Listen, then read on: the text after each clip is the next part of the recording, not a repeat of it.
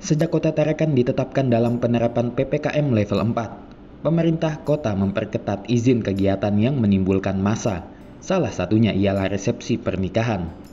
Namun, dalam rapat koordinasi pelaksanaan acara di masa pemberlakuan PPKM level 4 di Tarakan pada Senin 13 September, pelaksanaan resepsi pernikahan hajatan dan kegiatan sejenisnya sudah kembali diperbolehkan dengan memenuhi ketentuan yang sudah diatur dalam Surat Edaran Wali Kota Tarakan nomor 440 tahun 2021 tentang pemberlakuan PPKM level 4 COVID-19 di Kota Tarakan.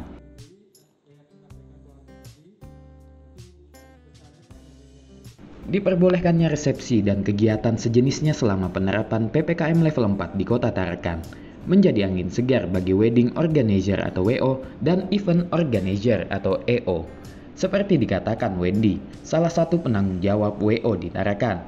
Ia mengaku selama penerapan PPKM level 4, WO dan EO tidak diperbolehkan melaksanakan kegiatan resepsi pernikahan, hajatan, dan kegiatan sejenisnya. Meski sudah diperbolehkan melaksanakan resepsi dan kegiatan sejenisnya selama PPKM level 4, pihaknya tetap akan mematuhi aturan yang sudah tertuang dalam SE Wali Kota Tarakan. Ia juga menceritakan, selama penerapan PPKM level 4 di Kota Tarakan, salah satu klien yang berencana melaksanakan resepsi pernikahan terpaksa harus menunggu lama karena adanya larangan resepsi pernikahan dan sejenisnya. Hal senada juga diungkapkan salah satu penanggung jawab WO di Tarakan, Aziz, mengatakan, karena sebelumnya ada larangan kegiatan, sehingga membuat usahanya mengalami penurunan omset yang signifikan. Senang sih karena kami sudah boleh mengadakan resepsi lagi gitu.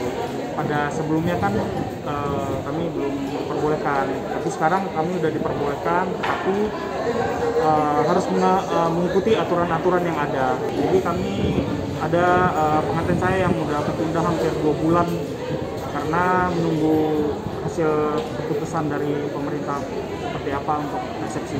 Untuk kami sebagai WO ini merasa terima kasih lah kepada pemerintah ini yang bisa membuka kembali dan untuk ladang lahan untuk pemasukan buat kami.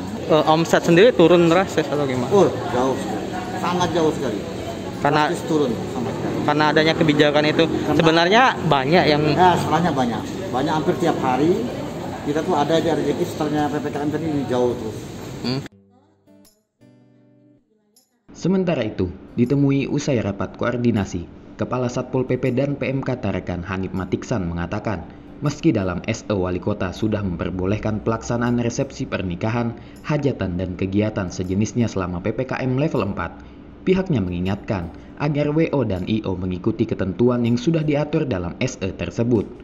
Adapun sejumlah ketentuan yang harus diketahui ketika melaksanakan resepsi pernikahan dan kegiatan sejenisnya antara lain dilaksanakan di dalam gedung, tidak dilaksanakan pada malam hari, kursi yang disediakan maksimal 30 tanpa meja untuk keluarga inti, hingga tamu undangan yang hadir dalam waktu bersamaan maksimal hanya 25% dari kapasitas gedung yang tersedia dengan menerapkan protokol kesehatan yang ketat, serta pelaksanaannya harus mendapatkan izin dari Ketua RT, Lurah setempat, dan Satgas Penanggulangan COVID-19 Kota Tarakan.